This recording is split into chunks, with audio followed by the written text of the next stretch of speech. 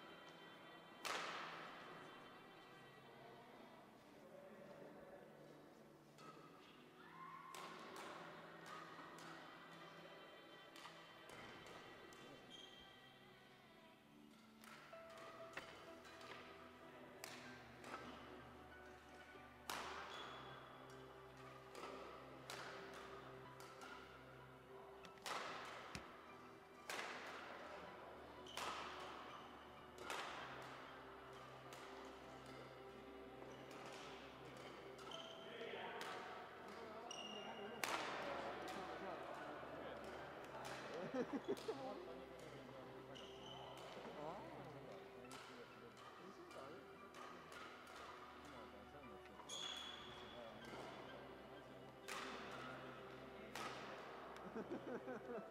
nüüd lähed ise, sa lähed ise pead kohvile, mina lähen jätkata. ma ei näe jah. jah, ei, okei okay., praegu töötasid ära, et järelikult hommikul väljas. Jah. nii et äh, saab,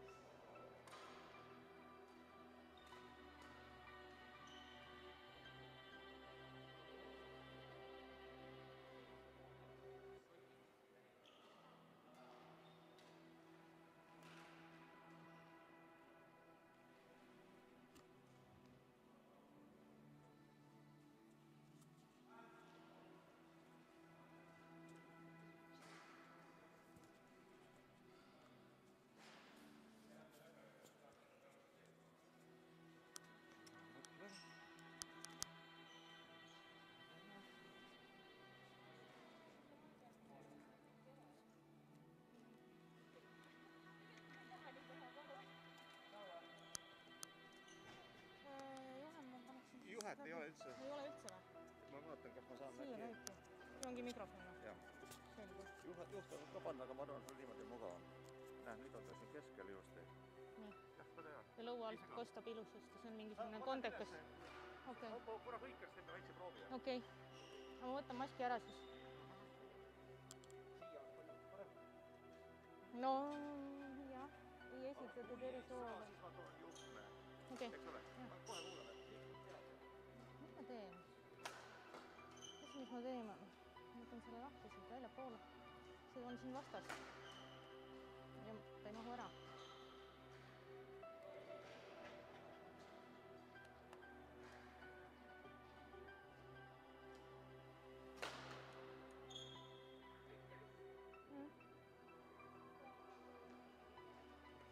kui mul on halvasti, siis mõttes, et see tead, mis lepime kokku kokku lepime või? et vaatad tagumise otsa järgi, selle otsa järgi. jah, siis me ei saa teda täita praegu. lihtsalt ei lähe.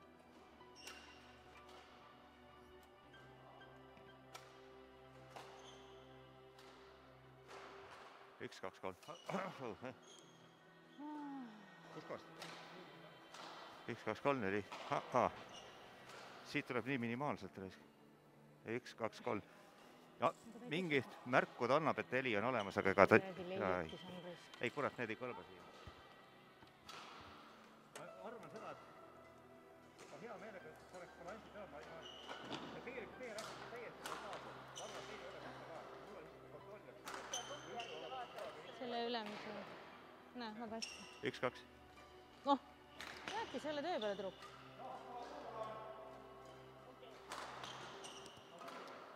üks, kaks, kolm, super. pea alla. okei okay,, niimoodi räägib paremini või?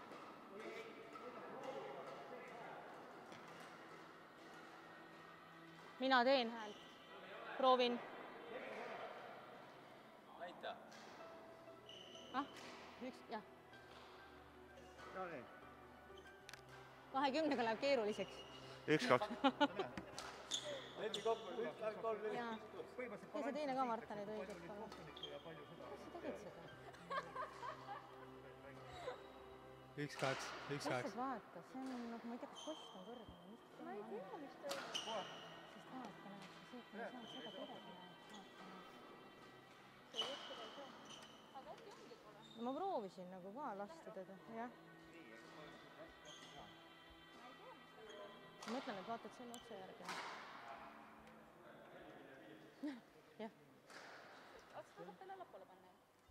Ma ei saa, siin on see ees, näe, tibu. aa, ja, ja, ja, ja. aga ma ei tea, kas see tuleb allapoole. no selleks peab selle võtme võtma ja laskma allapoole, aga ma ei tea, kas meil on, kümme minutit aega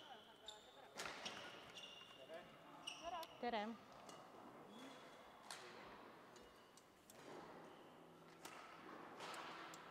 seda, mul tuli meelde, et mingi trikk oli tal, kurat. ma olen neid nii palju nagu siblinud, sest alati nad, jah, nagu sa ütled, alati nad valmis pandud, onju. aga rohkem ei pane. aitäh mm.. ma näen, sul on praegu post viltu. aga see mõõtmine käibki nii tollikene. nii või? nüüd on see väga madal ja nojah.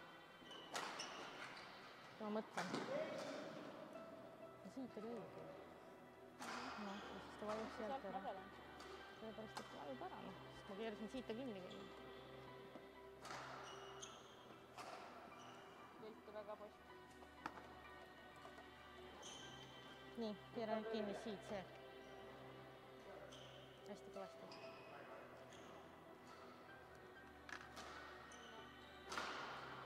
siis siit läheb üle noh, näed ma võttis keeran selle kinni tagasi mm. -hmm. Et siit käib üle juba pihta.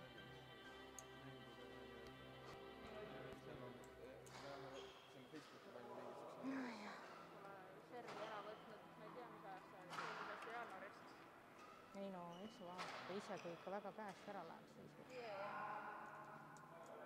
ema käskis Heiki Sorgele selgeks teha, et ta oskas servida. et võid ükskõik mille võtta. no ei saa, no ei saa madal, madal, madal. Okei okay. too on perks mingi nipi mis sa tegid, jah, ma ütlen, teen samamoodi siin ka.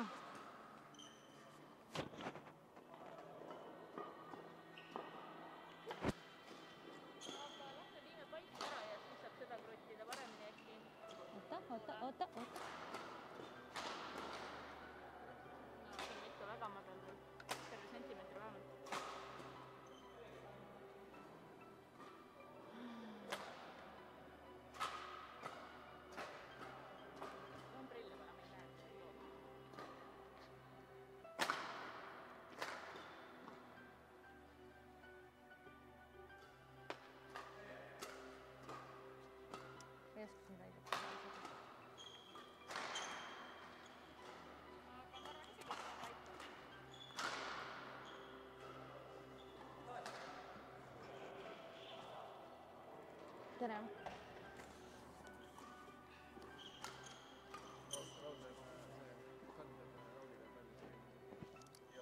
oh, mul jäi nüüd küsimata, kus need paberid on, mis ta mulle printima pidi. sa ei printinud, onju?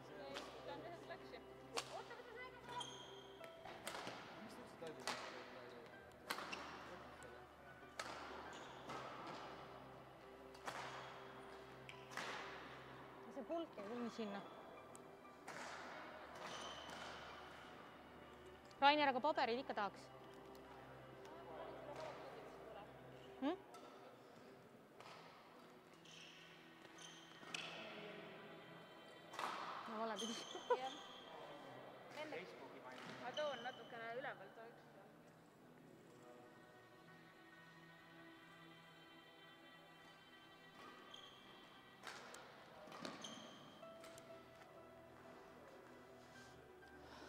üks on vale pidi siis need veel koos.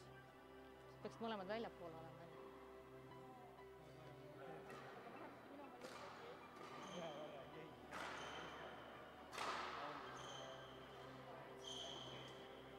sa jääd siia või?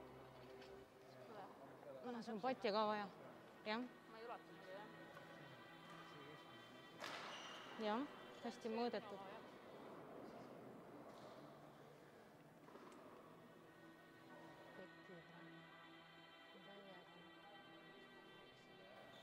jaa. tee veel, tee veel nii, nagu sa tegid.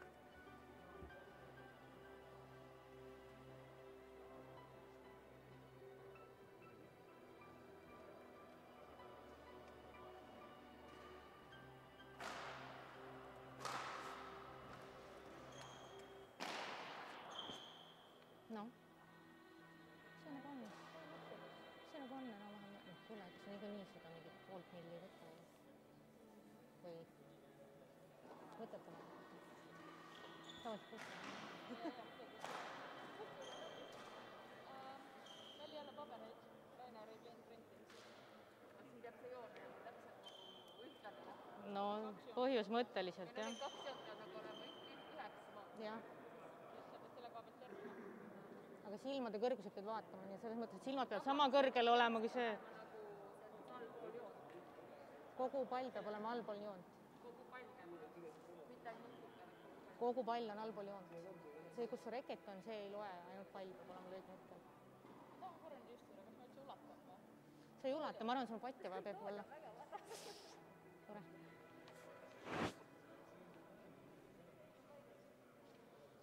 sest mul on endal üks turniir olnud, kus ma nagu niimoodi, et noh, kael, kael läks jumala, noh, tõsiselt, mul oli nagu väike kaelkirjak kogu aeg niimoodi. Aga selle võtad ka või? selle ma võtan ka jah. jah. siis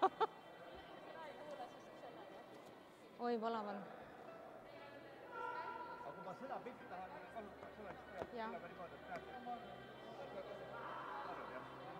aga sa oled mingit niisugust releed teinud ka varem või?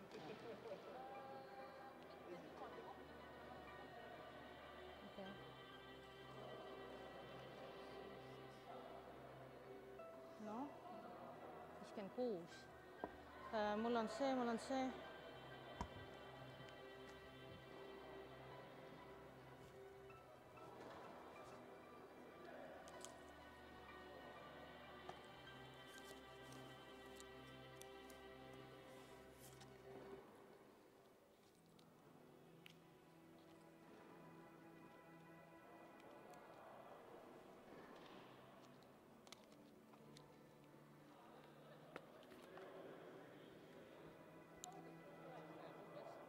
Mis asi, sinust peab käe ulatuses olema umbes?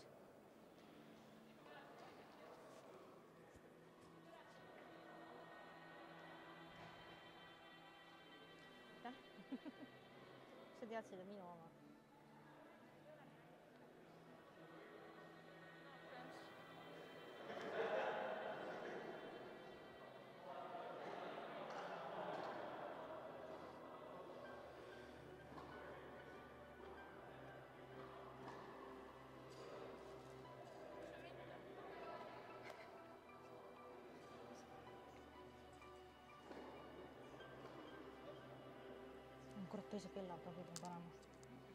teise kella pidin ka panema. nii, jaa, natukene. ei seda ei ole kuskil. see oli Badminton Europe'i äh, üks, ei no kuna, ma võin sulle öelda, jaa, valge paberil. ma ei saa seda download ida sealt. pean mingi sisse logima,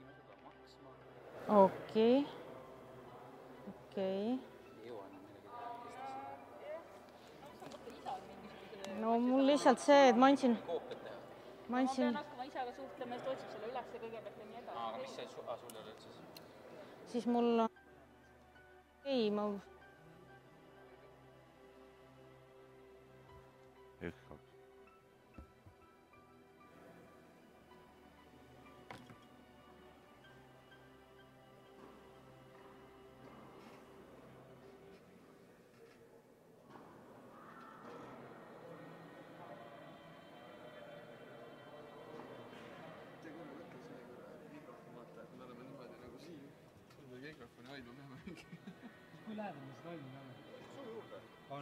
eks me peame jagama.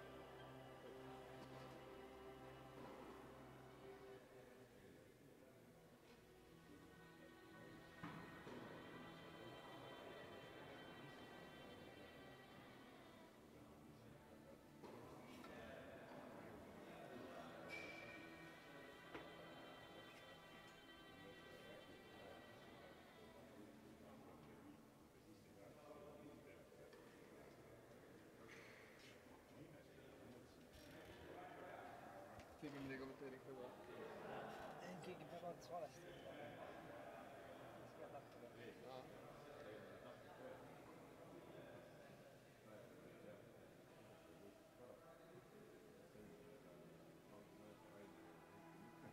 kuuskümmend vaatajat juba. midagi ei toimu.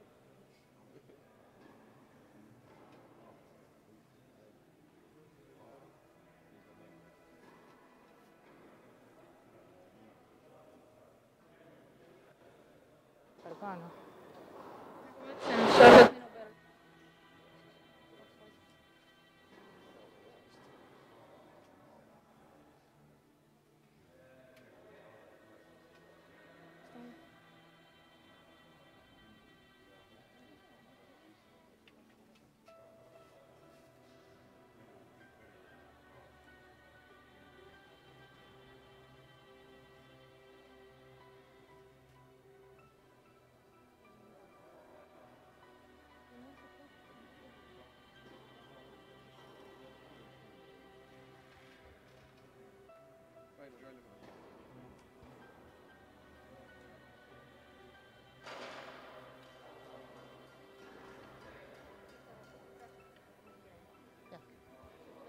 nii kui ma pukki olen, ma ei tea, ei ole. veel ei ole.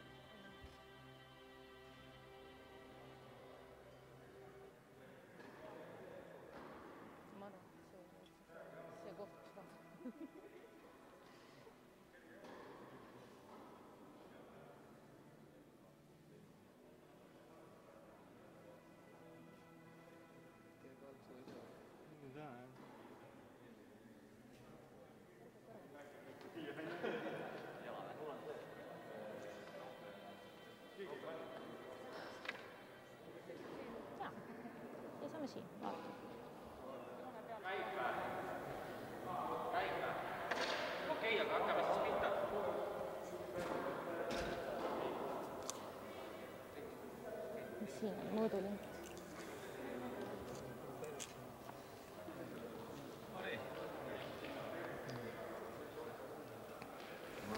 las nad teevad selle Noh. tervituse üle. jah. vastasvõistkonnale.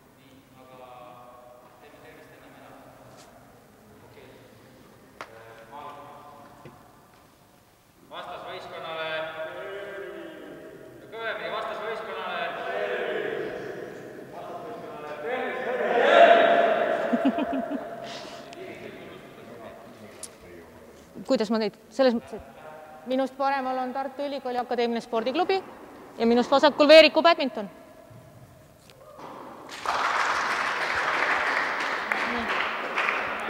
tere õhtust ka siit äh, kommentaatori boksist.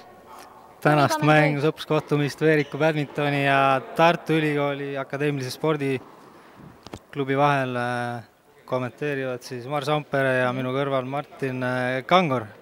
ja esimene mäng, kohe selline täitsa vinge vastasseis, kus treenerid lähevad vastamisi, Rainer Kaljumäe ja Heiki Sorge.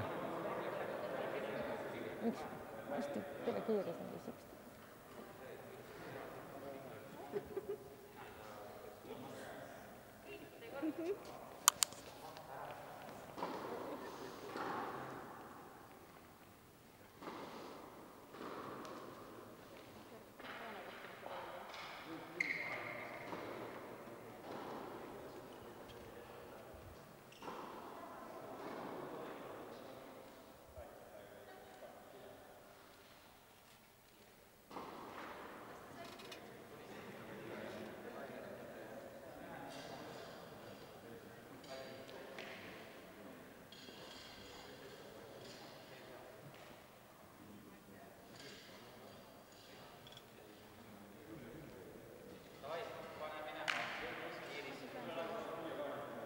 jah.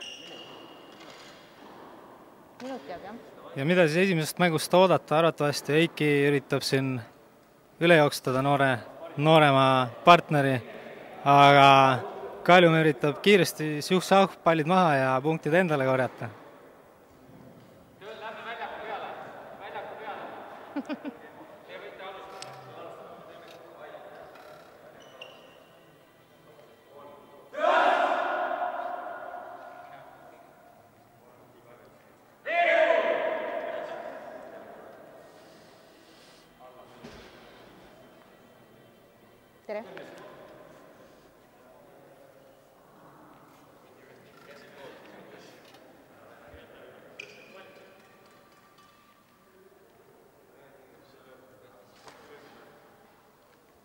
tere!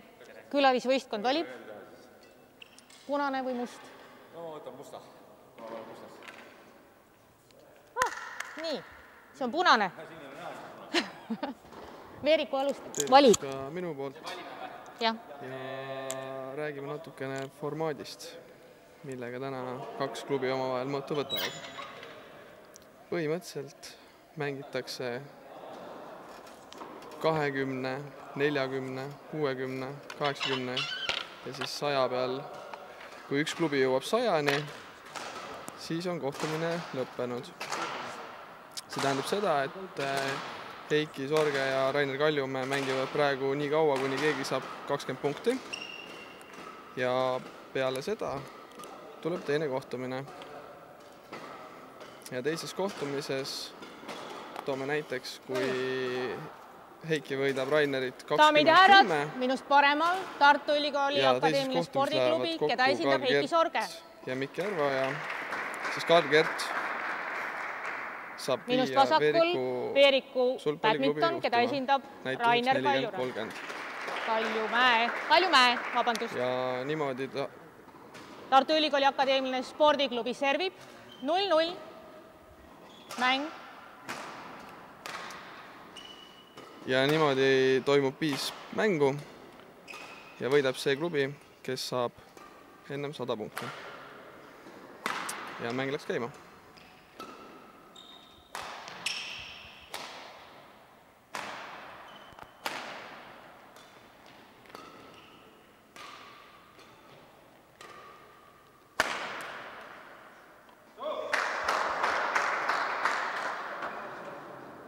servivahetus üks-null.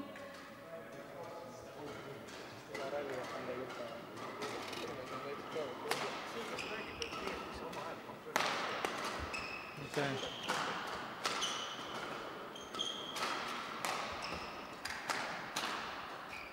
out. servivahetus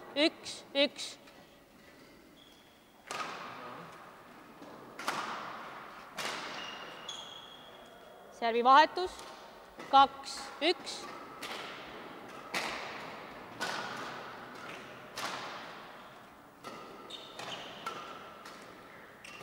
kolm, üks ja nüüd pärast äh, esimesed kahte pikka rallit on Rainer saanud ilusti lühikesemad rallid ja punktid võetud kiiresti.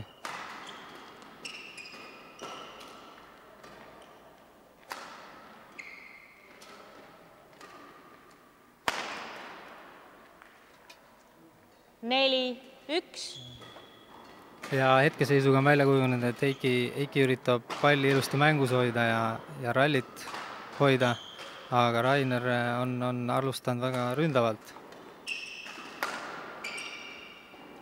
out, viis, üks,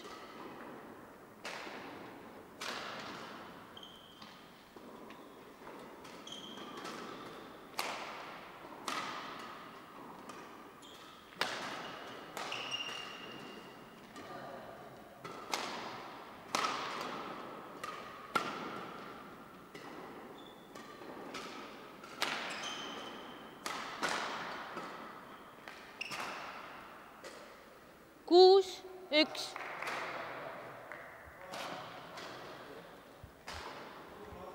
sellise lühikese formaadi juures võib kujuneda väga tähtsaks asjaks see, kui hästi on mängijad valmis mänguks ja kui hästi on soojendus läbi viidud. hetkel tundub Rainer olevat paremas seisus.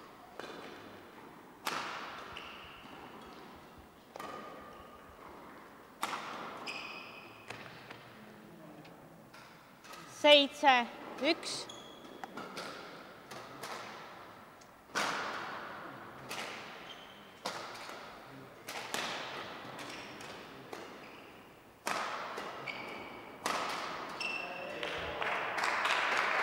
Heikil siin servivahetus kaks, seitse, mitu lihtviga tuli järjest, aga nüüd tipptreenerina leidis vajalikud muudatused ja, ja võttis selle punkti.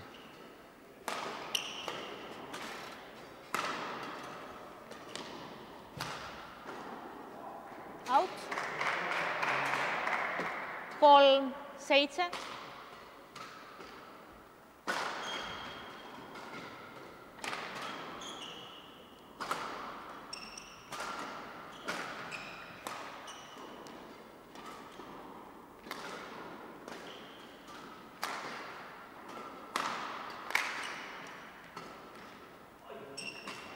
ja ilus, ilus lahendus äh, Rainer Jalimäe poolt.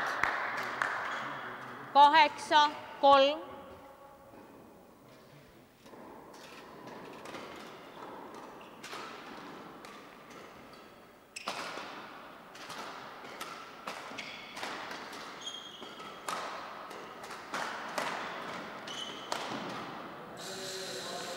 hästi lõpetatud rünnak Heiki poolt.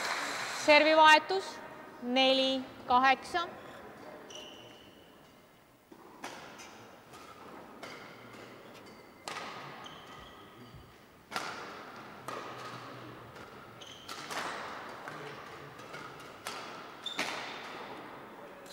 viis, kaheksa,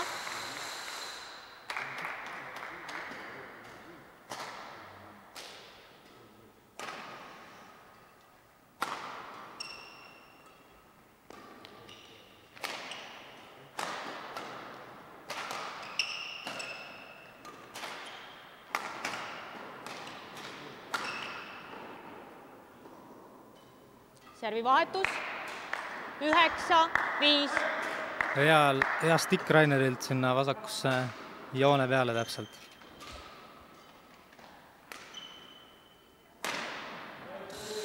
servivahetus, väga lühike serv äh, Raineri poolt ja Heiki kohe karistab ära. kuus, üheksa.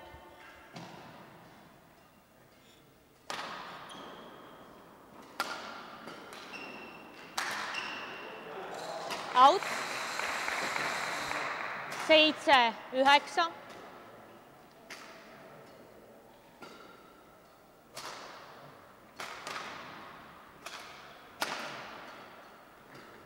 servivahetus, kümme, seitse, paus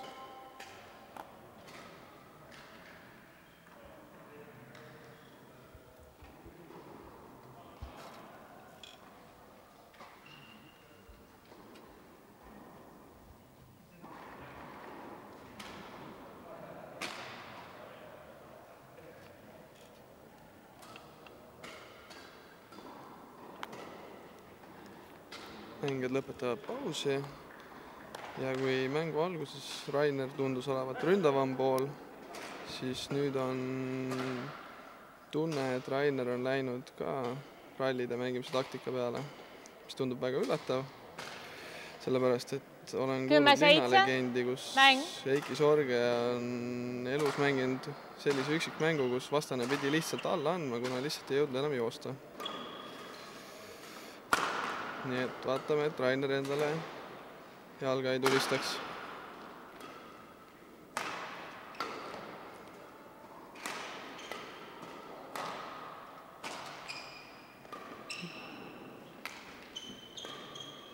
üllatav, et Rainer ei võta endale ründavat positsiooni.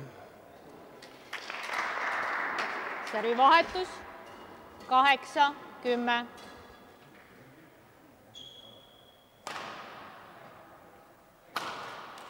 Ja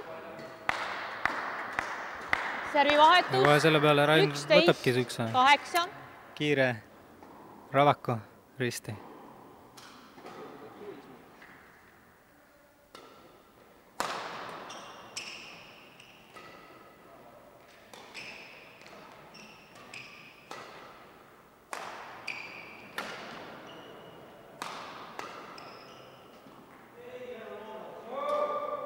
Kaksteist, kaheksa,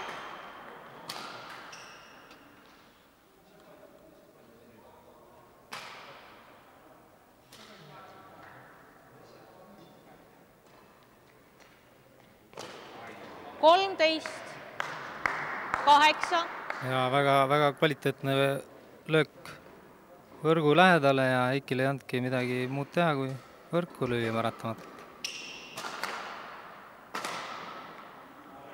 Servivahetus, üheksa, kolmteist,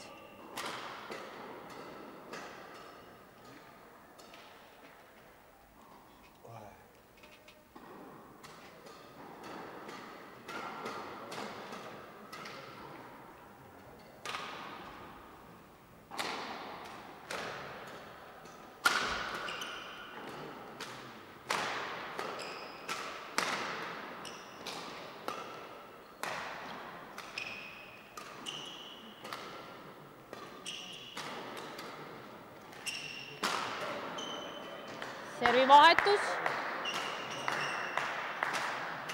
neliteist, üheksa.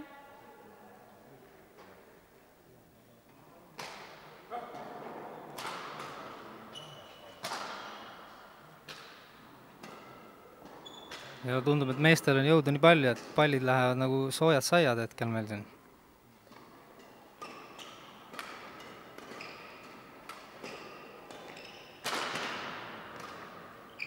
out. viisteist, üheksa.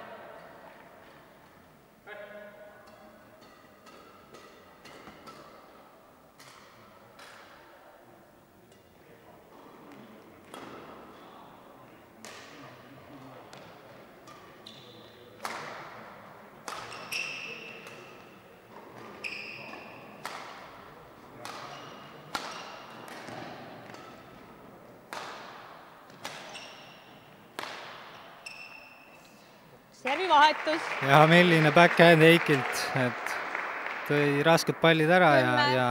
Rainer andis väikse võimaluse ja kohe kasutas ära.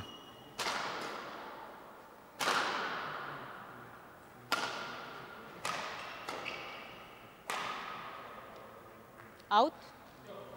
servivahetus, kuusteist, kümme.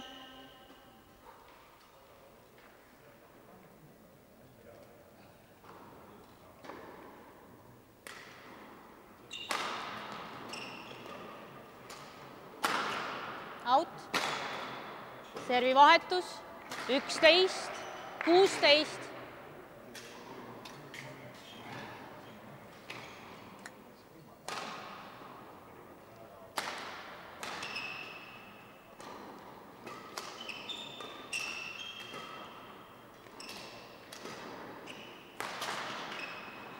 out. servivahetus, seitseteist, üksteist.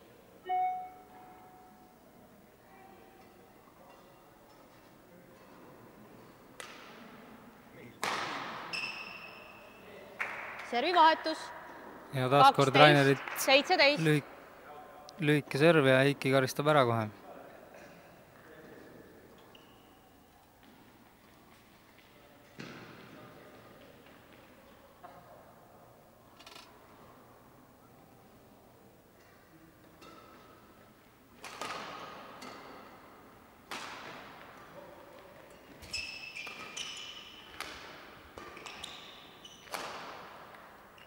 out. kolmteist, seitseteist.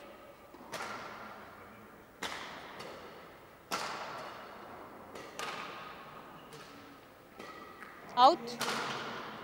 servivahetus, kaheksateist, kolmteist.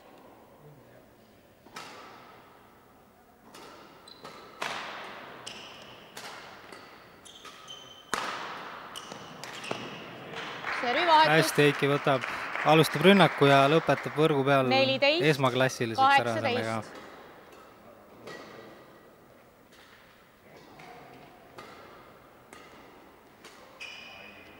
servivahetus, üheksateist, väiksed äh, pettelöögid ka Rainerile, mis ta siis trennis noorte pealt äkki õppinud on. üritab siin publikut nii palju, ehk siis enda mängijaid ka kaasa kutsuda.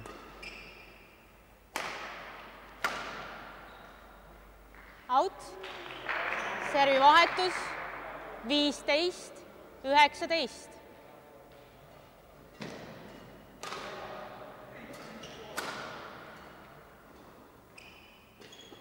Game. out, out, vabandust, kuusteist, üheksateist.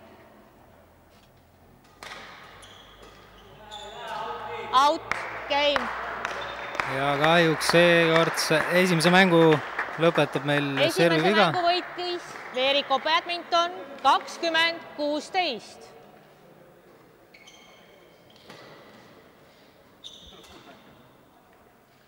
Rainer on oma esimesed sammud see veteranide olümpia poole juba ära teinud ja nüüd ootame uut kohtumist Karl Kerdi ja Mikk Järveoja vahel. Karl Kert treenib Tallinnas koos Raul Mustaga ja väga huvitav on vaadata, mis vormis mees hetkel on. siinkohal äh, ütleks ära, et unustasime alguses mainida, et äh, pukikohtunik on meil Iiris Metspalu ja, ja servikohtunik on äh, Marta Kaart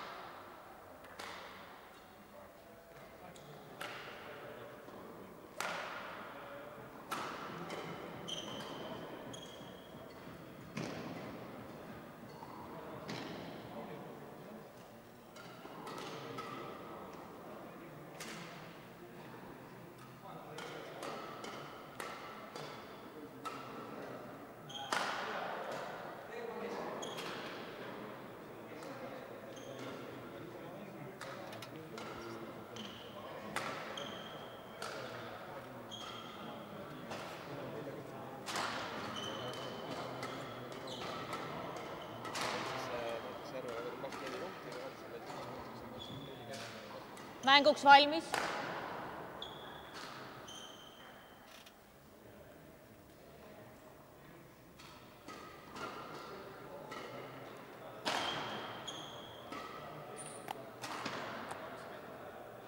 Ähm, ma teadvustan, okei okay.. teine game, ülikooli spordiklubi esindab Mikk Järveoja, Veeriku badmintoni Karl Kert. kakskümmend kuusteist, mäng.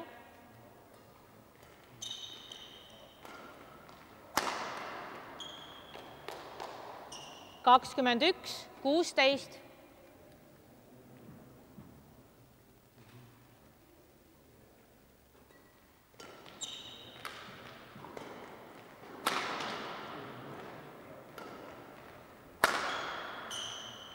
kakskümmend kaks. korralik 16. sinna taha, et kaks punkti järjest kindlalt hetkel ära võtnud.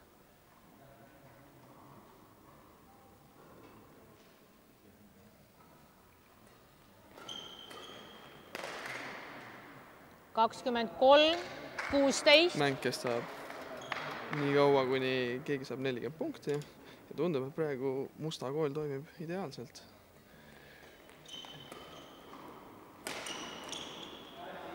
servivahetus. eksimus Kadri poolt. Seitseteist, kakskümmend kolm.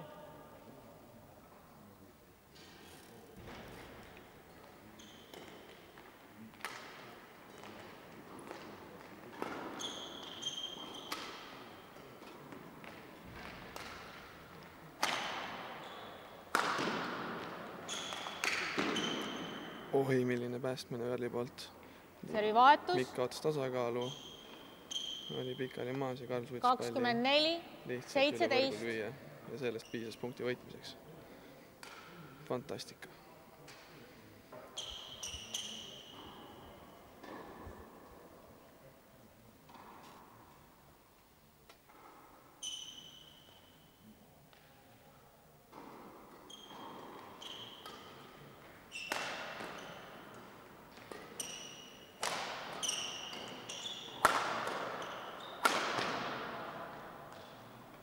Kakskümmend viis, seitseteist.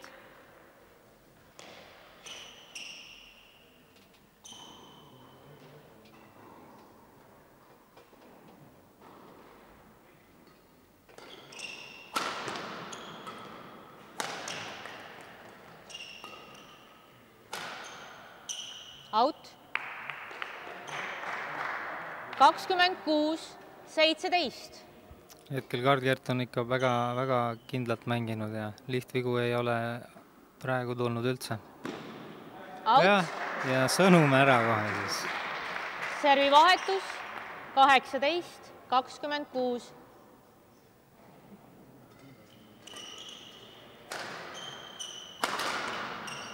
servivahetus.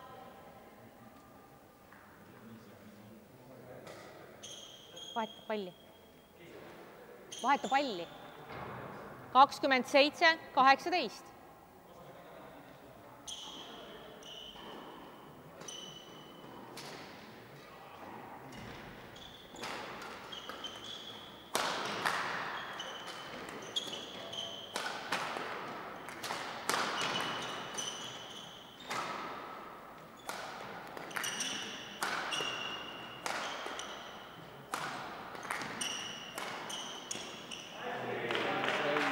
Ja milline ralli meil siin täna. servivahetus üheksateist, Mikk suutis hoida Karli 27. piisavalt pinge all ja, ja, ja pani Karli eksima.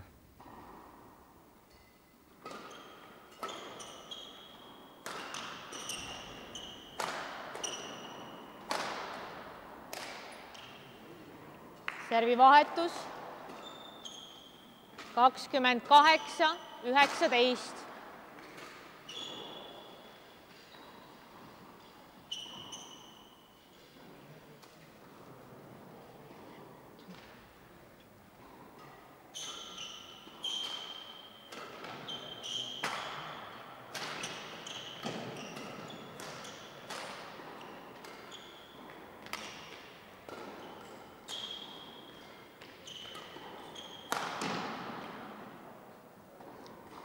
servivahetus kakskümmend, kakskümmend kaheksa. outpall oli.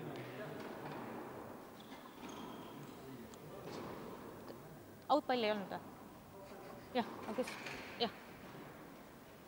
Sorry, kakskümmend üheksa, üheksateist, minu viga.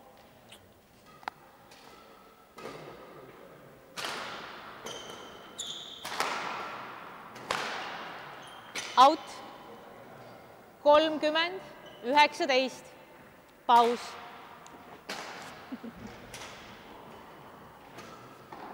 ja väike joogipaus mõlemale mängijale, aga hetkel äh, Karl Gerdil on, ütleks, täielik kontroll selle mängu üle.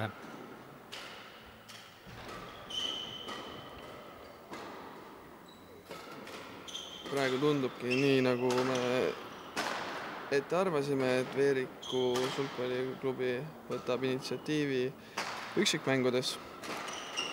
aga etteruttavalt võin ära öelda, et kohtumine lõpeb kahe paarismänguga, kus selge eelis on Tartu Ülikooli spordiklubil. vaatame, mis saab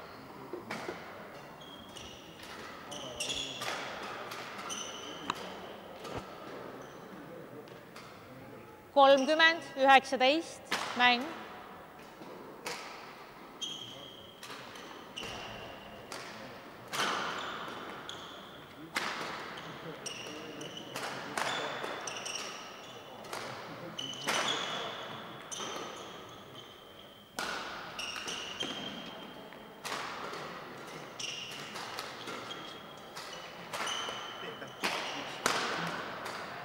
servivahetus ja korralik pikk ralli, mille Mikk, Mikk lõpetab siis ilusa kolmkümmend. rabakuga keskele, mille, mille vastu Karl on täiesti jõuetu.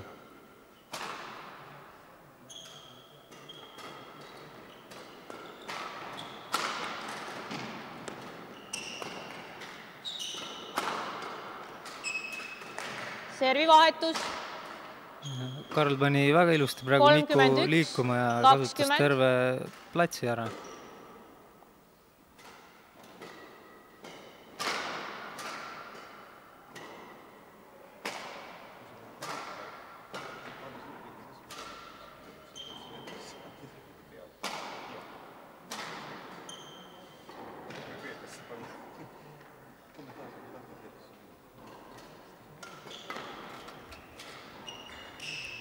kolmkümmend kaks, kakskümmend,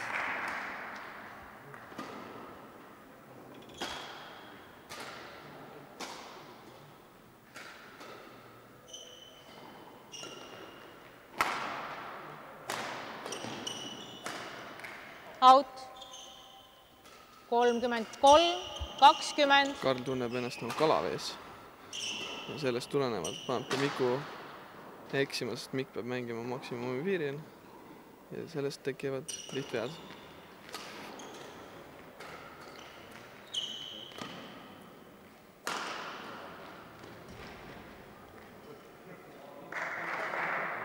kolmkümmend neli, kakskümmend,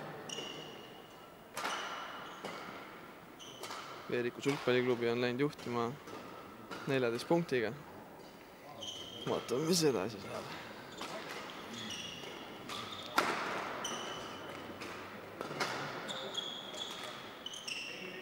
värvivahetus, kakskümmend üks, kolmkümmend neli.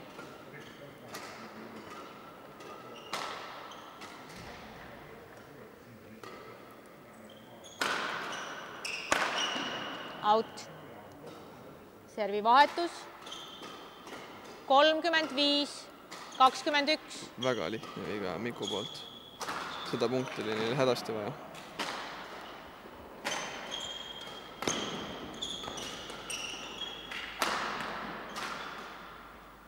Kolmkümmend kuus, kakskümmend üks, ilus piiri peale löödud äh, rabak Karlilt taaskord.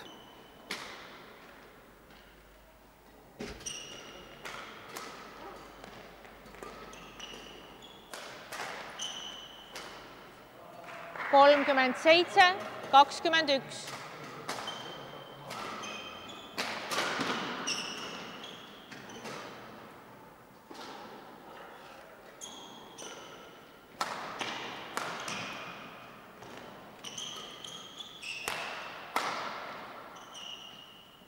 kolmkümmend kaheksa, ja hea kakskümmend üks, rünnaku lõpetus taaskord.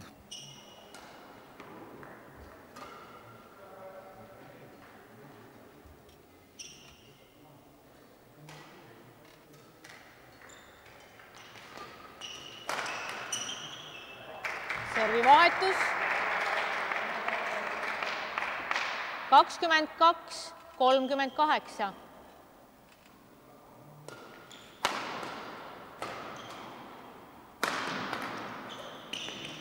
hiline kaitse servi Karlilt. vahetus. kolmkümmend üheksa, game pall kakskümmend kaks,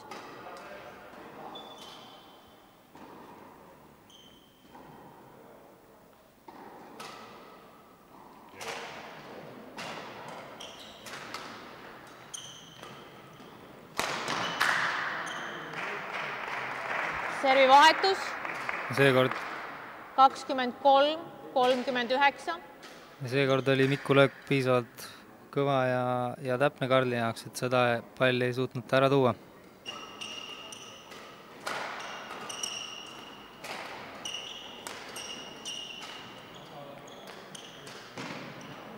out, game.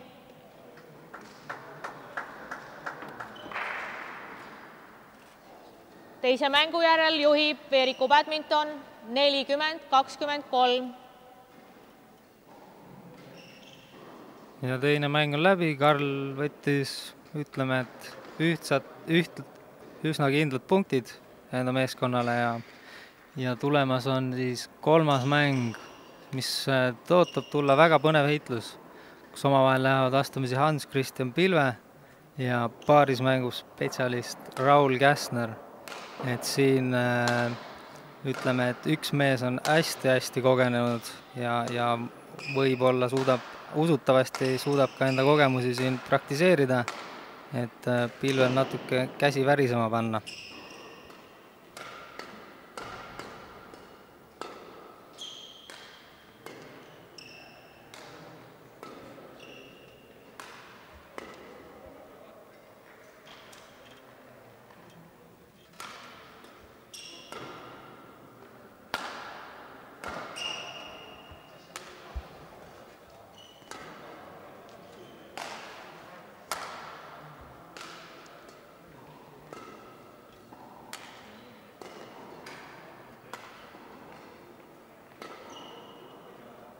Rainer, see on Rain, on ju? vot, no ma räägin sulle, ma ei tea neid nimesid. mul ei ole ju nimesid. Hans-Christian Pilve on ta, õige.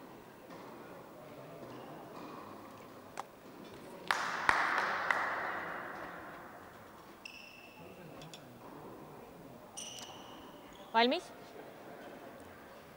hetkeke, oodake Tartu Ülikooli Akadeemilist Spordiklubi esindab Raul Käsner ja Veeriku badmintoni esindab Hans-Christian Pilve. nelikümmend, kakskümmend kolm mäng, mäng hakkab pihta. out. nelikümmend üks, kakskümmend kolm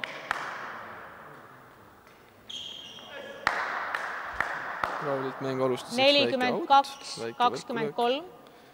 loodame, et suudab koguda ennast.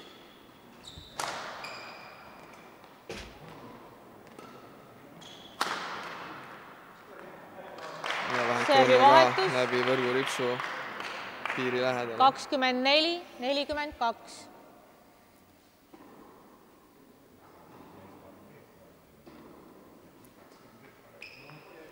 servivahetus nelikümmend kolm, kakskümmend neli.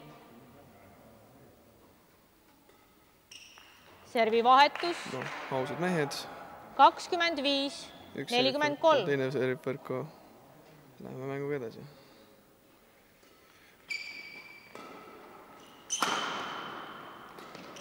üldiselt võib öelda, et Hans Christian on väga ründav mängija ja kui temale kakskümmend palju üles lüüa, siis nelikümmend kolm, sealt tasub oodata mingit kõvemat ründelööki.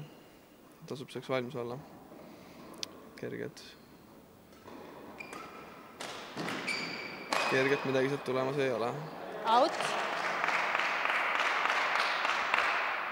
kakskümmend seitse, nelikümmend kolm,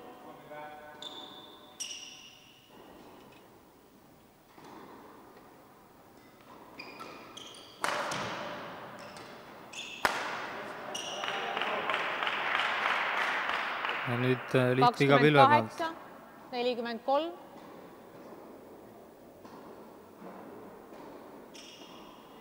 oma torust.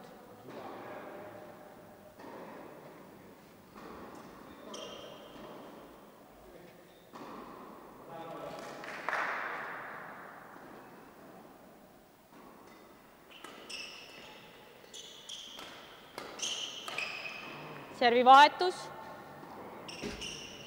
nelikümmend neli, kakskümmend kaheksa, Pilve tõi ilusti esimese ründelöögi ära ja, ja Raul ei, ei jõudnud rünnakut ilusti ära Out. lõpetada. servivahetus kakskümmend üheksa, nelikümmend neli, kui vaadata senist mängukulgu, siis selles mängus me näeme kõige rohkem, kõige lühemaid rallisid, mõningaid vigasid, kas tõesti mehed on maha jahtunud peale soojendust või on see pinge, mis klubide vahelises kohtumises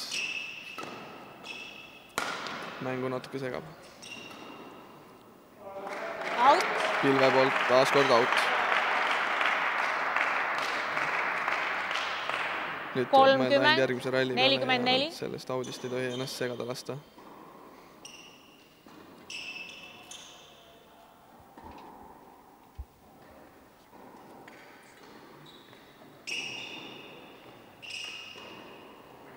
out.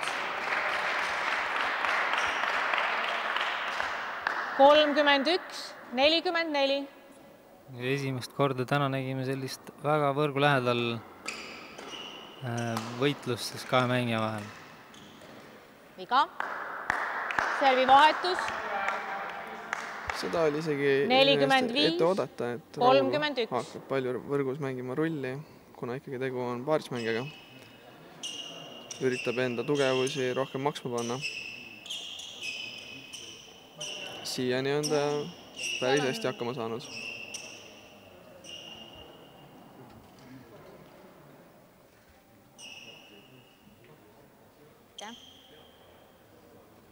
nelikümmend viis, kolmkümmend üks,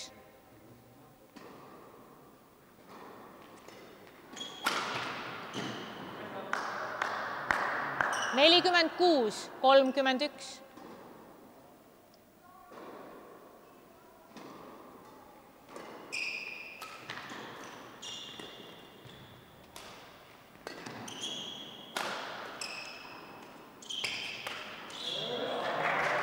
out,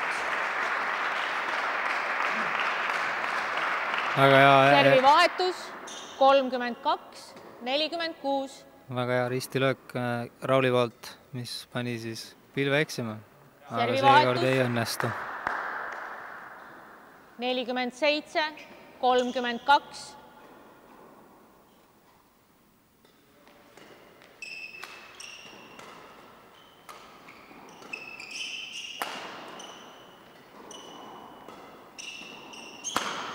out, servivahetus kolmkümmend kolm, nelikümmend seitse.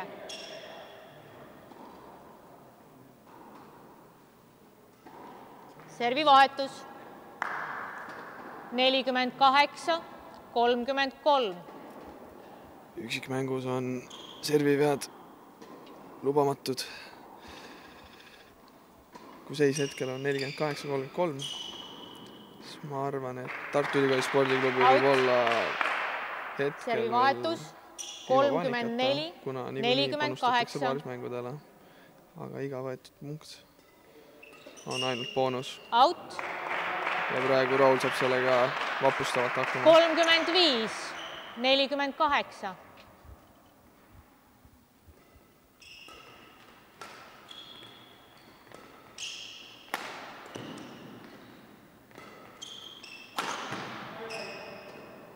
servivahetus ja väga hea löök piiri äärde. nelikümmend üheksa, kolmkümmend viis,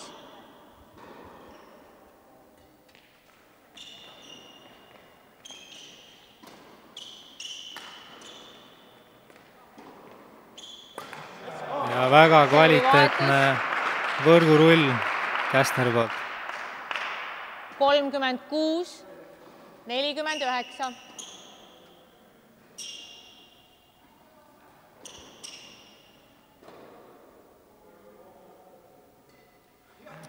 servivahetus ja kahjuks kolmas serviviga. paus, ja siit lähme väiksele joogipausile.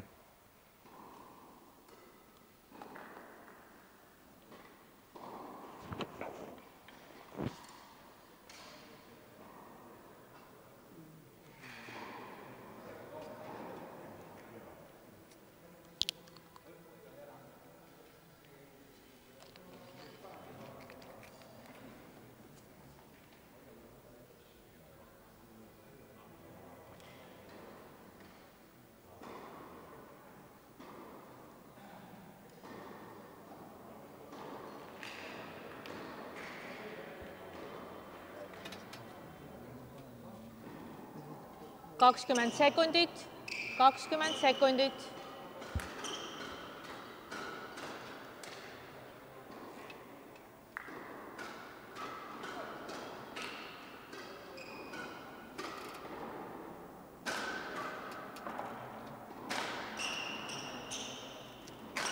viiskümmend, kolmkümmend kuus.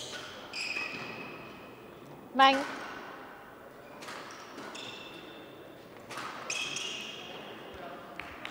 viiskümmend üks. hästi, on kõrgel kohe valmis pilve ja, ja lööb selle palli kindlast, kindla peale maha. servivahetus. kolmkümmend seitse, viiskümmend üks, nüüd hakkas natuke kontrollima seda palli trajektoori ja, ja kohe tuli lihtviga sisse.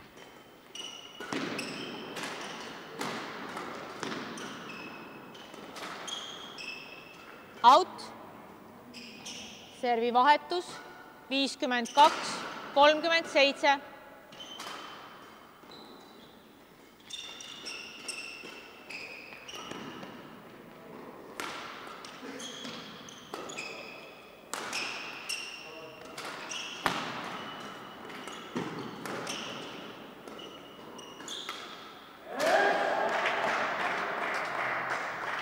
servivahetus kolmkümmend kaheksa, viiskümmend kaks,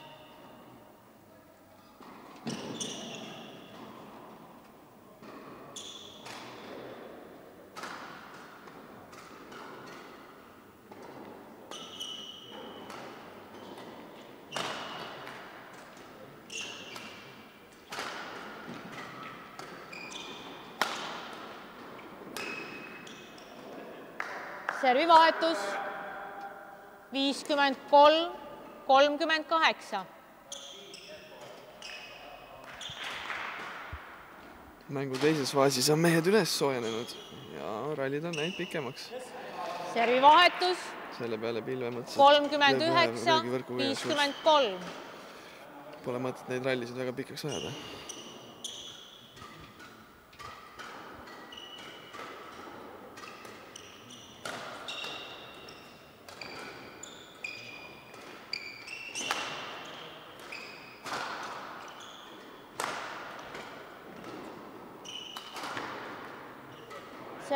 vahetus. ilus tilk pilvelt äh, tagant risti, Käss ja Käsner oli võimetu.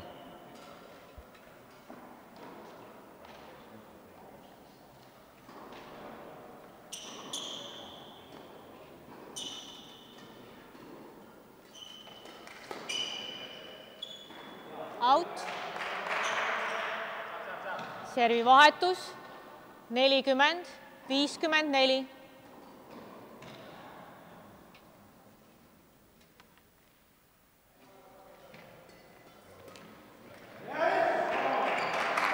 ja kaks lihtviga järjest Pilvel. nelikümmend üks, viiskümmend neli.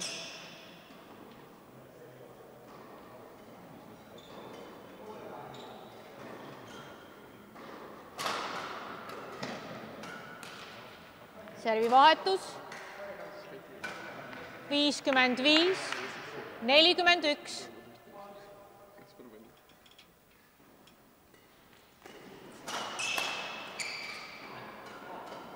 Viiskümmend kuus, nelikümmend üks.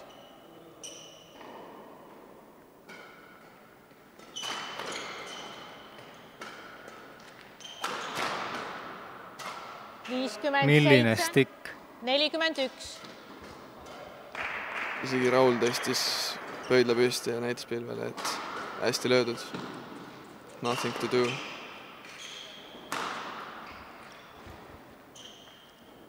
Viiskümmend kaheksa, nelikümmend üks.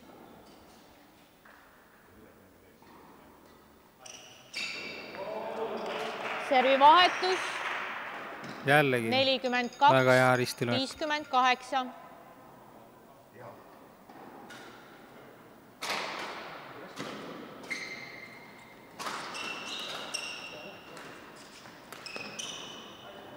servi vahetus viiskümmend üheksa, gamepall nelikümmend kaks.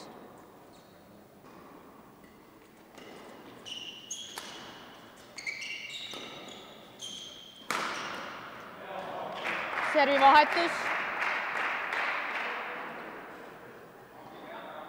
nelikümmend kolm, viiskümmend üheksa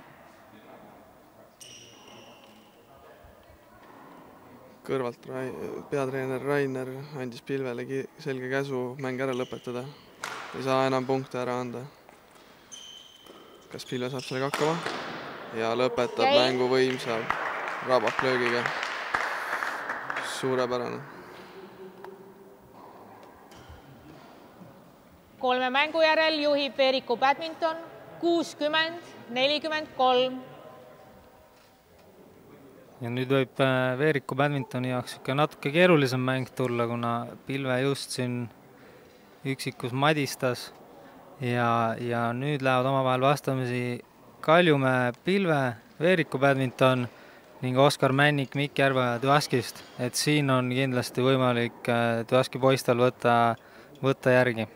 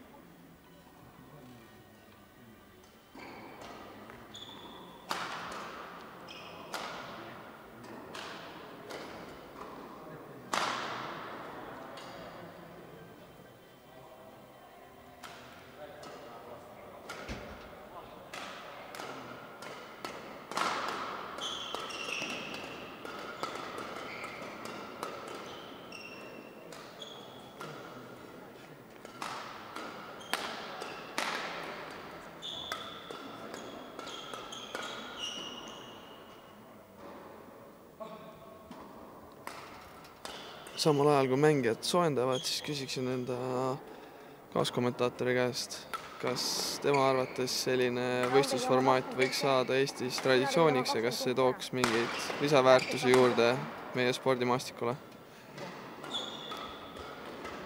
ma arvan, et äh, kindlasti sellisel üritusel äh, potentsiaali on, kunagi varem oleme ka valmis? klubide vahelisi korraldanud, aga, aga siis oli kuidagi kohe pärast GP-d mängida enda klubi eest, et see on keerulisem.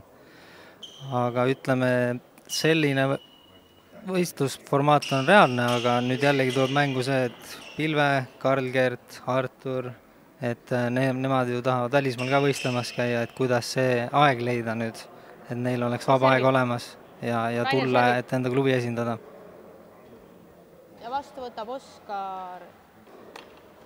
Tartu Ülikooli Akadeemilist Spordiklubi esindavad Oskar Männik ja Mikk Järveoja. Veeriku badmintoni esindavad Rainer Kaljumäe ja Hans-Christian Pilve. Rainer Kaljumäe servib Oskar Männikule nelikümmend kolm, kuuskümmend mäng.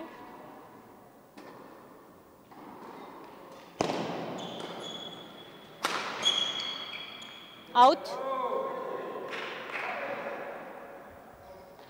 kuuskümmend üks, nelikümmend kolm. et see võistlus sai korraldatud praegusel hetkel, sest koroonapausi tõttu muid võistlusi nagunii ei korraldata ja saab ära testida. kuidas mängijatele selline formaat sobib? servivahetus nelikümmend neli, kuuskümmend üks,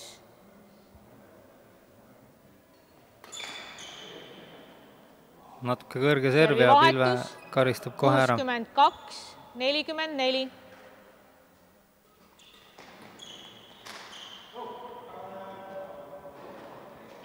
kuuskümmend kolm, nelikümmend neli. viga.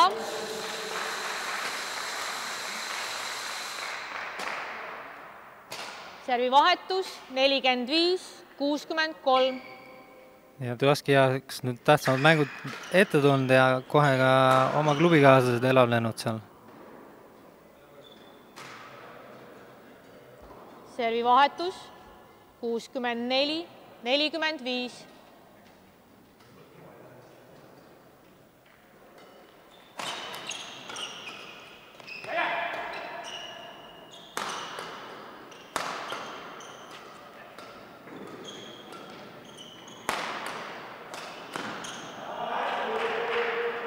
Ja Veerik kaitses, mis kaitses, aga Tuask sai lõpuks palli, palli piisavalt hästi löödud, et tuli äh, viga. neli.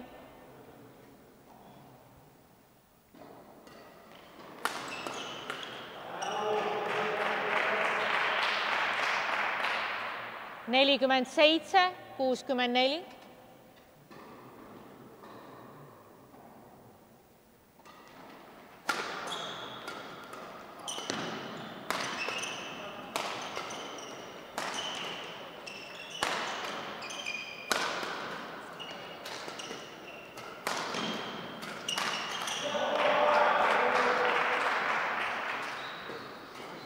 Nelikümmend kaheksa, kuuskümmend neli.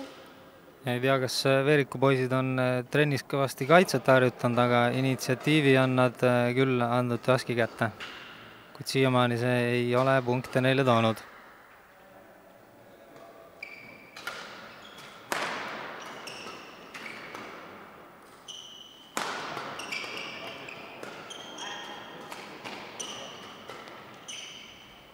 out.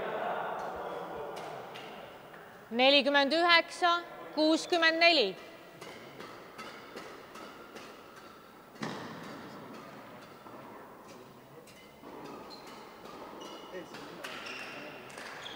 servivahetus kuuskümmend viis, nelikümmend üheksa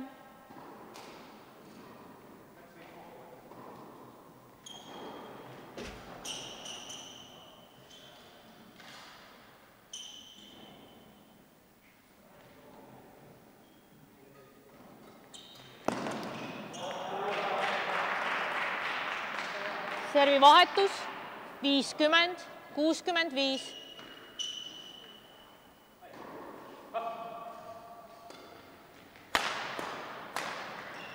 servivahetus ja Veeriku alustab ise 66, rünnakut ja lõpetab ära ja, ja on näha, et äh, parim kaitse on ikkagi rünnak. kuuskümmend seitse, viiskümmend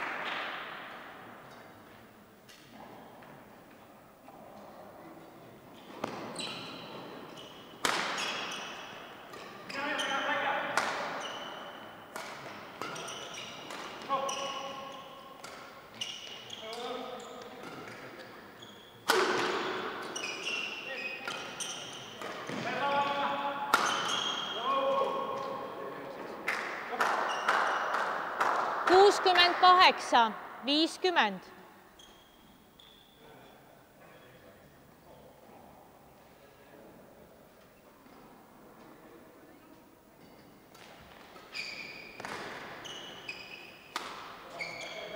servivahetus. viiskümmend üks, kuuskümmend kaheksa.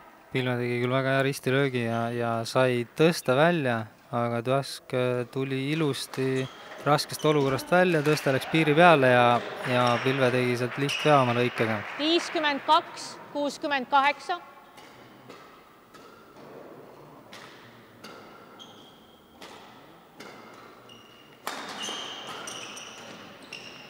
servivahetus. kuuskümmend üheksa, viiskümmend kaks. väiksed kommunikatsiooniprobleemid ja pall lõpeb võrgus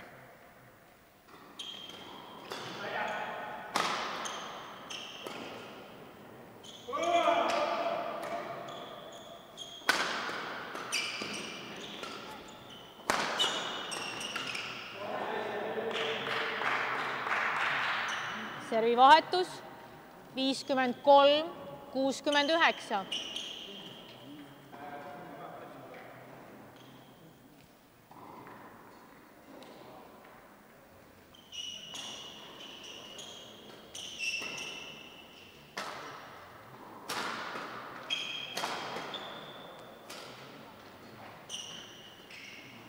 aitäh.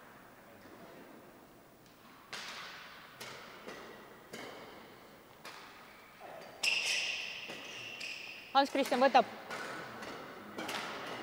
ei, Hans Kristjan, jah. viiskümmend kolm, kuuskümmend üheksa.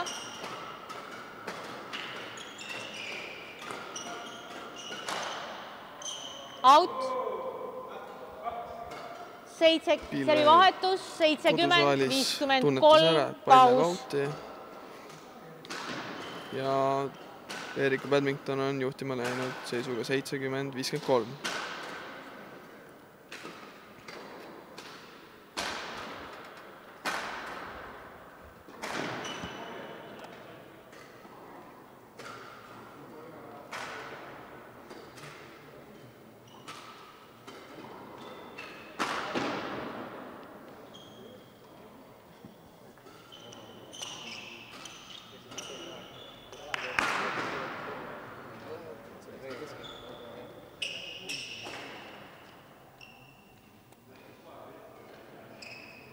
valmis? Seitsekümmend, viiskümmend kolm, mäng. out. servi vahetus, viiskümmend neli, seitsekümmend.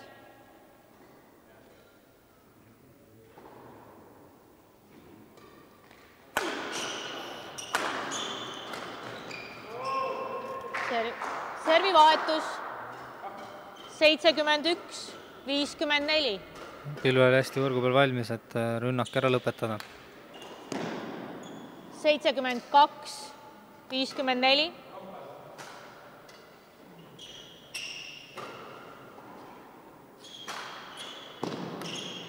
servivahetus. viiskümmend viis, seitsekümmend kaks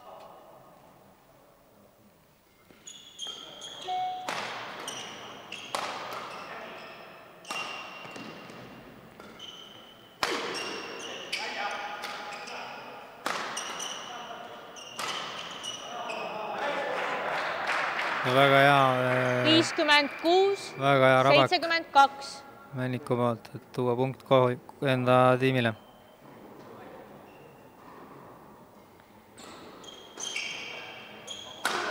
viga. ja Kaljumäe paneb kohe vastu. seitsekümmend kolm, viiskümmend kuus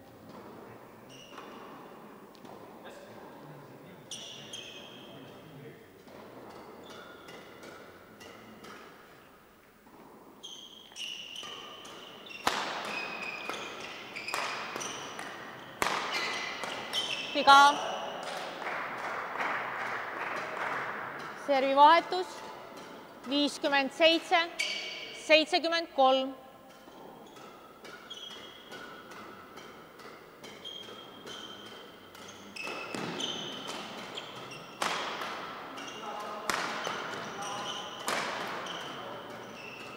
out. viiskümmend kaheksa, seitsekümmend kolm.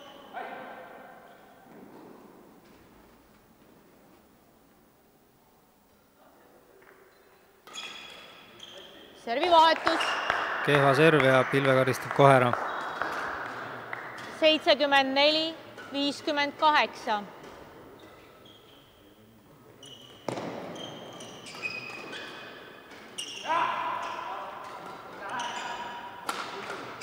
viga, natuke jooksid kokku Veeriku mängijad ja Tuaski poisid nägid kohe vaba kohta, kasutasid seal ilusti ära. seitsekümmend neli.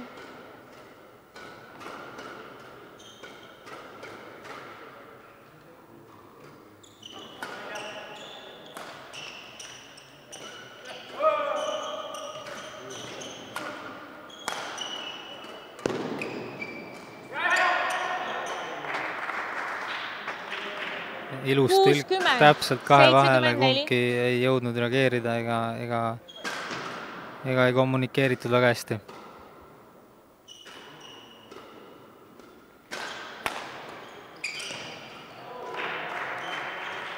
kuuskümmend üks, seitsekümmend neli.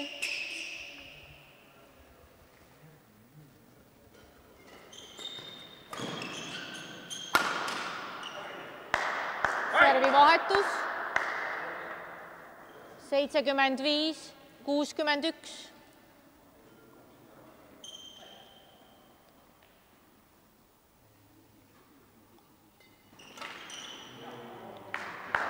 Seitsekümmend kuus, kuuskümmend üks. veidike kõrge. Mikk nägi võimalust, et rünnata. aga praegu ei õnnestunud.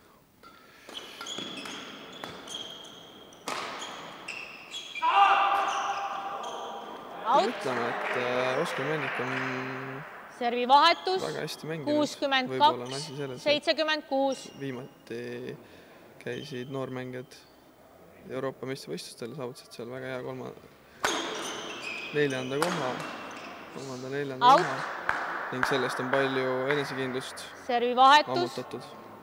seitsekümmend seitse, kuuskümmend kaks.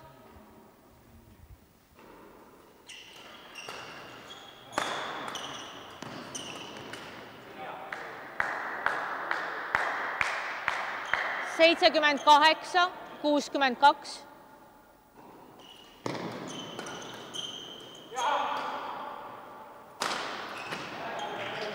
servivahetus kuuskümmend kolm, seitsekümmend kaheksa.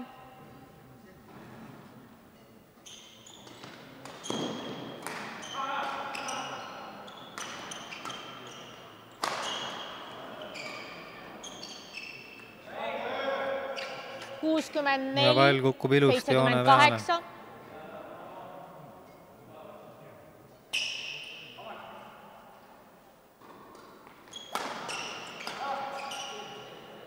out, kuuskümmend viis, seitsekümmend kaheksa.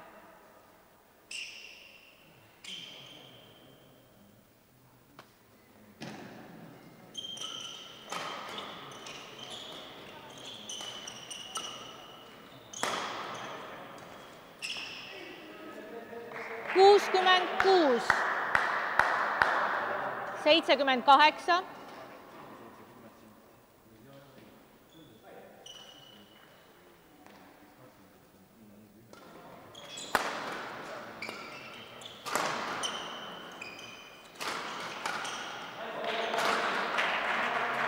Mikk luges väga hästi mängu ja võttis liini kinni ning lõi palli maha. kaheksa.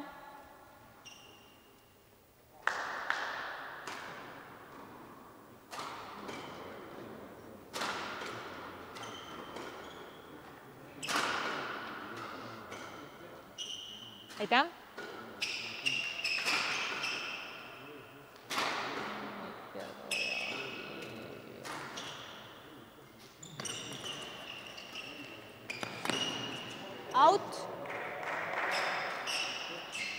Kuuskümmend kaheksa, seitsekümmend kaheksa, Rainer oli õiges kohas, kuid pall läks pikaks.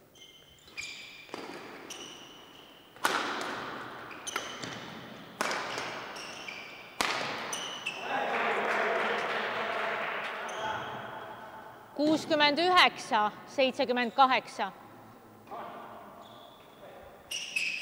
Eeriku badminton ei saa enda kahte punkti kätte, mida oleks hädasti vaja praegu. servivahetus. Seitsekümmend üheksa, game pall kuuskümmend üheksa. nüüd jääb Tuask kontrollima palli ja see natuke näpistab neid.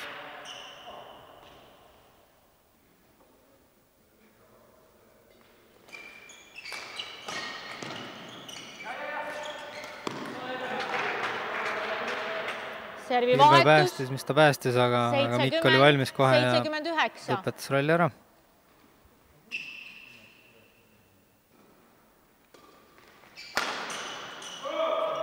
Game, ja sellega lõpeb meie neljas mäng. neljanda mängu järel juhib Veeriku badminton kaheksakümmend, seitsekümmend. ja viies mäng tõotab tulla tõeline põnevusmatš, kus on mängida täpselt võidu peale. jah, viies mäng lõppvaatus. et vastamisi lähevad Karl Kert, Veeriku ja Artur Ajupov Veeriku badmintoni klubist ning raskekahurvägi Raul Käsner ja Kristjan Kaljurand. võib öelda ju tegelikult, et äh, Raul ja Kristjan on tituleeritult kõige kõvemad mänge, parismängijad Eestis ning sellest tulebki väga põnev kohtumine, sest kas noormängijad suudavad oma edu ära kasutades selle mäng, selle kohtumise enda kasuks ära pöörata, sest nüüd käib mäng, kuni üks meeskond saavutab sada punkti.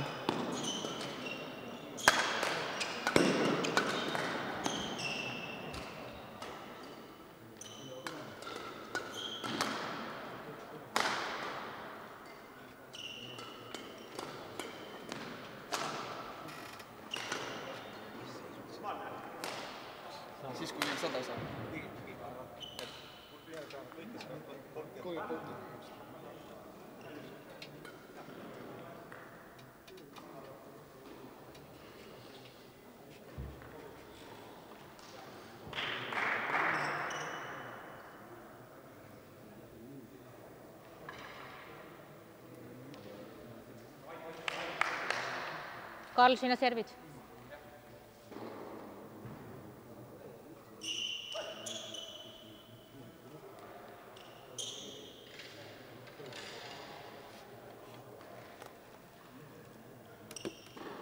Tartu Ülikooli spordi, akadeemilist spordiklubi esindavad Raul Käsner ja Kristjan Kaljurand.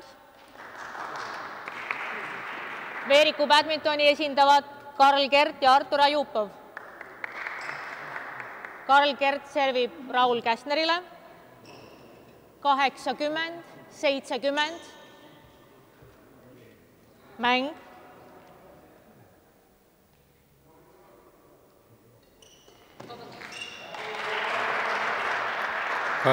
Käsner oli kohe valmis võrgu peal ja võtsid punkti endale. kaheksakümmend.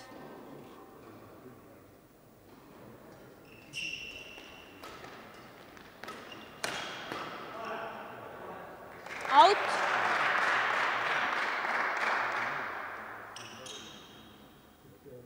Seitsekümmend kaks, kaheksakümmend. out servi vahetus kaheksakümmend üks, seitsekümmend kaks.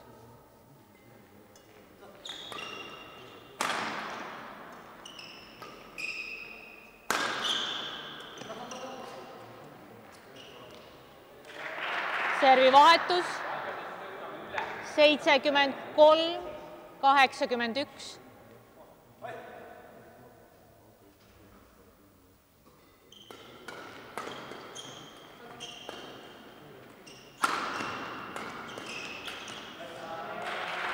ja Veeriku badminton ei suuda enda rünnakut ära lõpetada ja, 74, ja Tuaskil kaitse 81. pidas.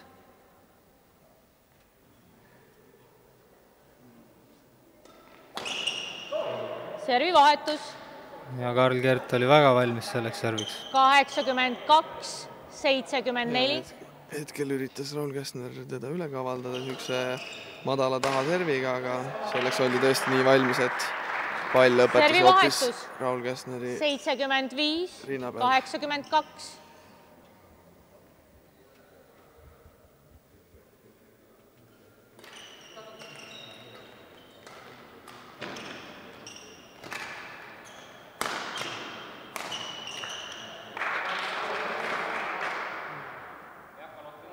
Seitsekümmend kuus, kaheksakümmend kaks Karl üritab siin natuke tsirkuselööke teha, aga ei tule välja.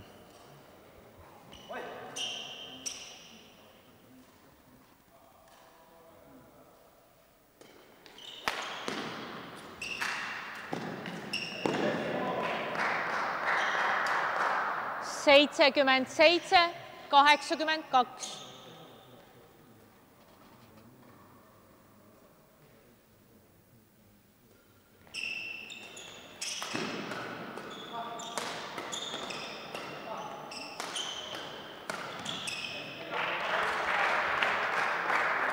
Veeriku badmintoni edu sulab nagu kevadine lumi seitsekümmend. mis kaheksa saab?, kaheksakümmend kaks.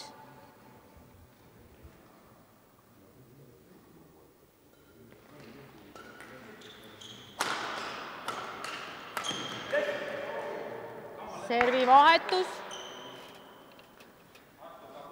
kaheksakümmend kolm, seitsekümmend kaheksa Karl oli ilusti valmis võrgu peal ja, ja sai selle palli maha.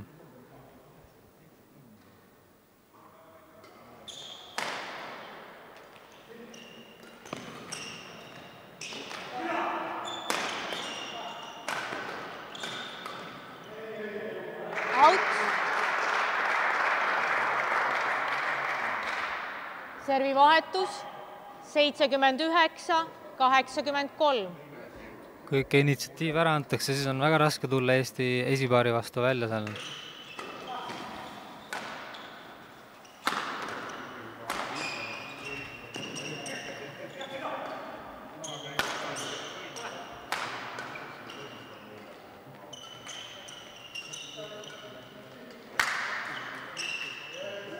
ilusti välja mängitud ralli. kaheksakümmend, kaheksakümmend kolm.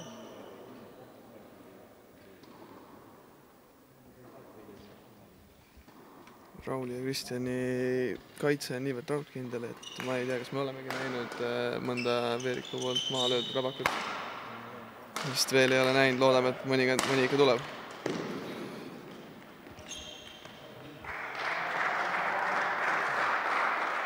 kaheksakümmend üks, kaheksakümmend kolm.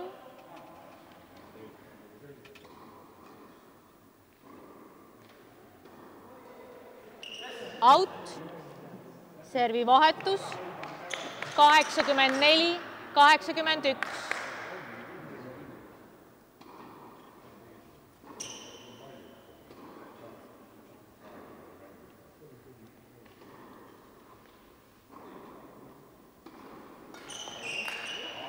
Servivahetus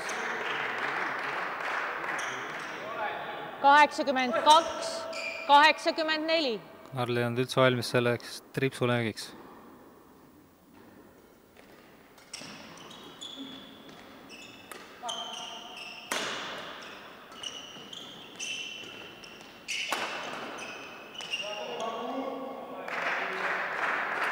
hea tõrje joone peale. kaheksakümmend kolm, kaheksakümmend neli, sellisel tasemel juba peab olema valmis igaks löögiks, et see tuleb võrgu tripsuga või raamiga üle, aga, aga üle ta võib kindlasti tulla.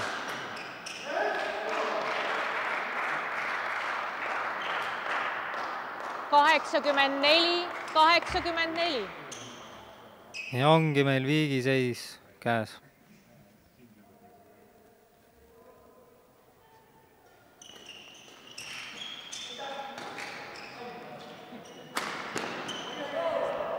Servi Raul kaotas vahepeal oma reketi ära. kaheksakümmend viis, kaheksakümmend neli. hetkel, hetkel selles mängus seis on neliteist, viis. ja neliteist punkti on saanud Raul ja Kristjan.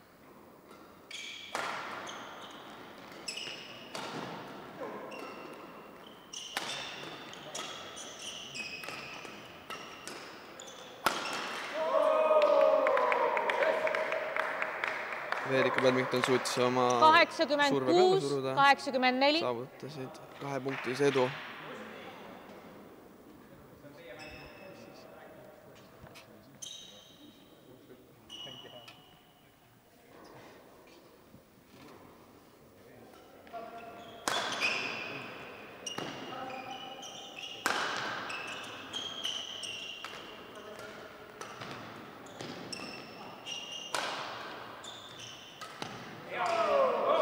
Ilus valmisolek võrgus ja, ja kohe Karl karistab ära selle väikse, väikse natuke kõrgema löögi.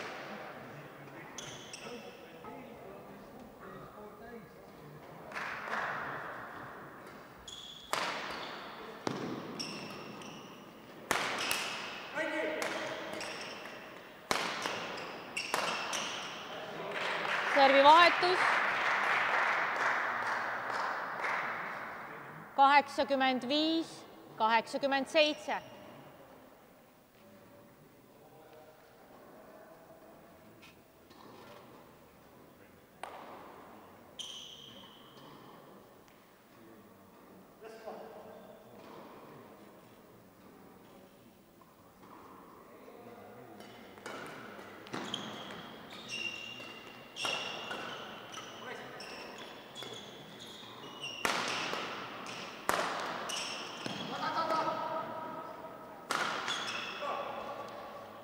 out.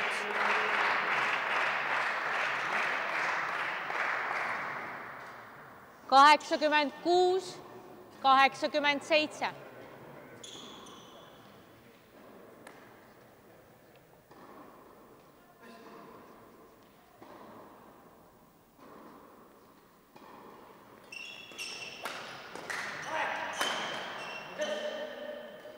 servi vahetus kaheksakümmend kaheksa, 86. suutnud oma paaripunktilist edu hetkel hoida.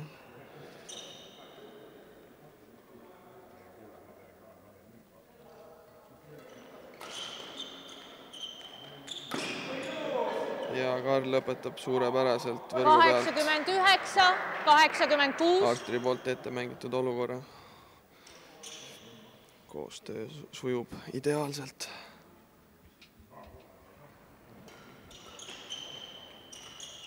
servi vahetus. kaheksakümmend seitse, kaheksakümmend üheksa.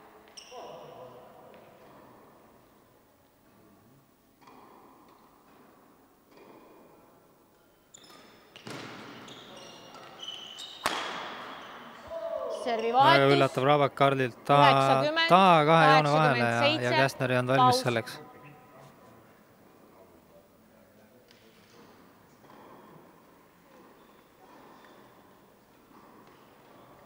kui samas rütmis Veeriku badminton jäta-, jätkab, et suudavad enda, enda seda väikest punktivahet hoida, siis, siis peaks tulema võit koju täna.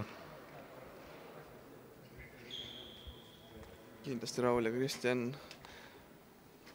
tahavad teha enda poolt kõik selleks, et see nii ei läheks. hetkel siis mängijad väiksel joogipausil ja treenerid annavad veel viimased juhtnöörid kätte, kuidas see võit koju tuua, kuidas Selg. peale panna.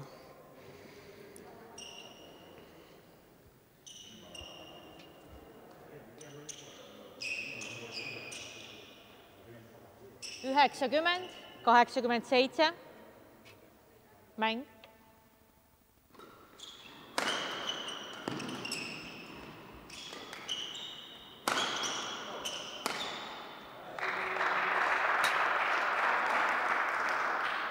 servi vahetus kaheksakümmend kaheksa, üheksakümmend. tõste jäi lühikeseks ja Käsner lahendas kohe võimaluse ära.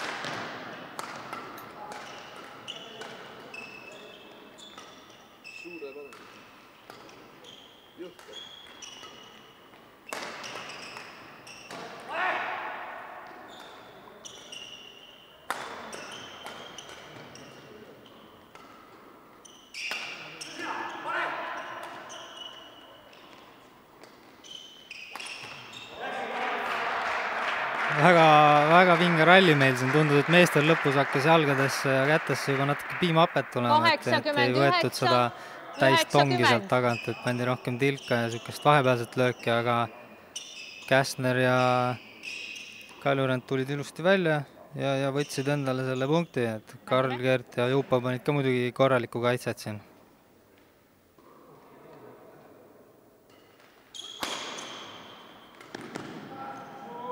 Oi, milline, milline, ütleme siis niisugune väike pete, et äh, Raul läks ennetavalt juba võrku, aga. Jupav tõstis ilusti üle ja, ja tõi punkti enda tiimile.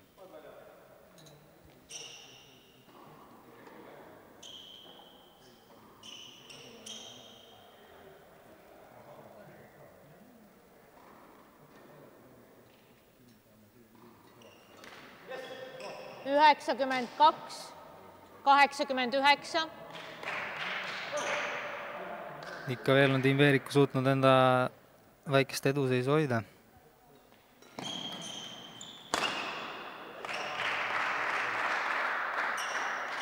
servivahetus üheksakümmend, üheksakümmend kaks, ja väga-väga hea löögivalik kahe vahele Käsneri poolt.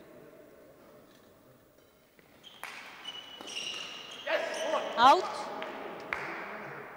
servivahetus üheksakümmend kolm, üheksakümmend, Karl suutis ilusti pinge peale panna vastastele ja tuli kohe väike eksimus. hetkel on iga punkt kulla hinnaga. servivahetus üheksakümmend üks, üheksakümmend kolm,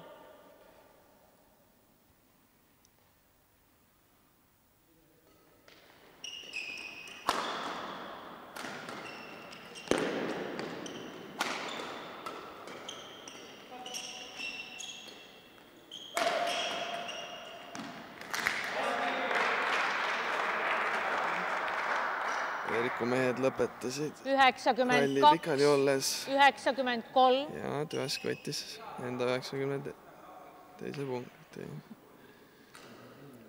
sellega on vahe minimaalne. kuid Veerik juhib veel ühe punktiga.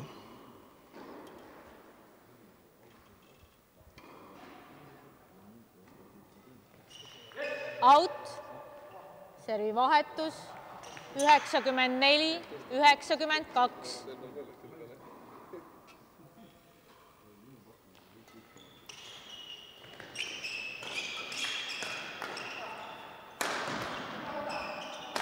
praegu tundub, et Karl Kert mängib rohkem pikali olles kui püsti olles.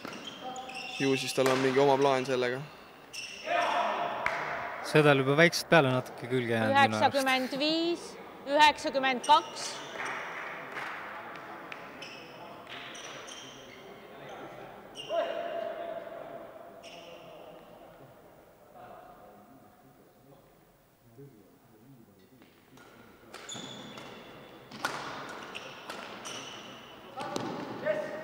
out, üheksakümmend kuus, üheksakümmend kaks, Karl oli väga kindel ja, ja jättis palli löömata. see oli õige otsus. koduväljaku eelis ikkagi, tajub piiri.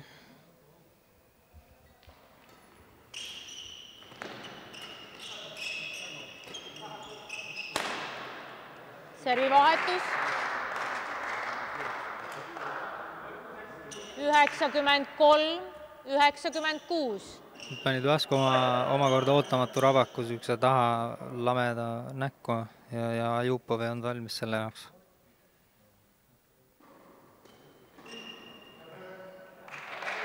superserv Kaljuranna poolt. üheksakümmend neli, üheksakümmend kuus,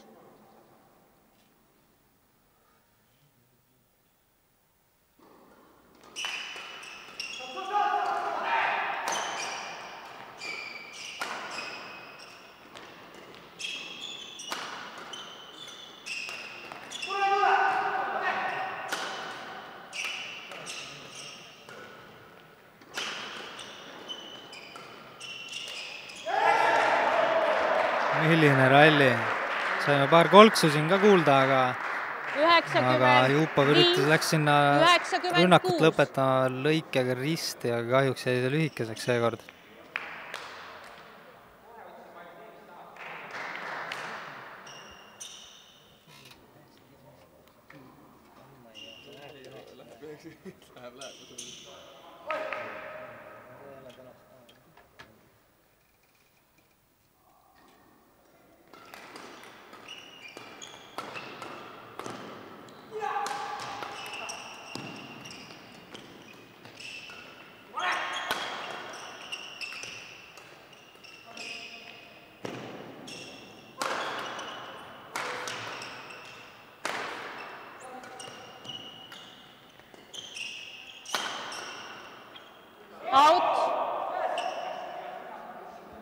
out, taaskord koduväljaku eelis, Jupovi piirid on une pealt teada ja, ja jättis selle palli sinna.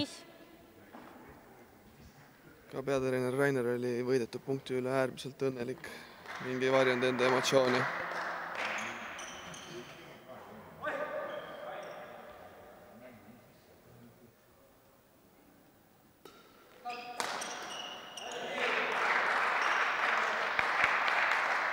servi vahetus üheksakümmend kuus, üheksakümmend seitse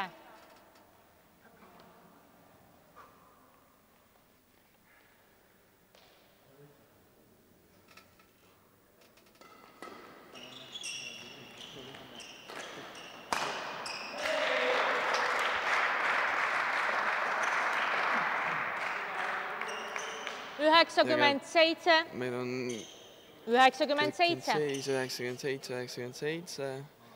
Ei tea, kas see on taktikaline paus, kus üritatakse vastasmängijaid mõjutada tempo muutusega. igatahes Veeriku võttis endale väikse pausi ja puhastab enda väljakut.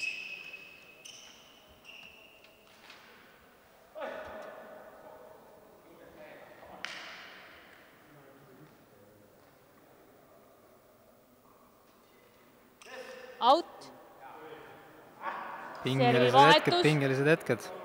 Üheksakümmend kaheksa, üheksakümmend seitse.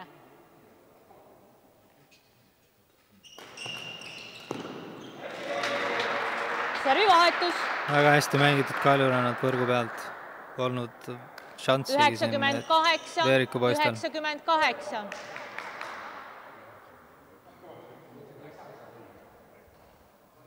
mina enda poolt loodan, et mänguseis tuleb üheksakümmend üheksa, üheksakümmend üheksa. Siis on õiged mängumehe punktid. üheksakümmend üheksa, matšpall üheksakümmend kaheksa. ja esimese matšpalli võimalus Tuaskil.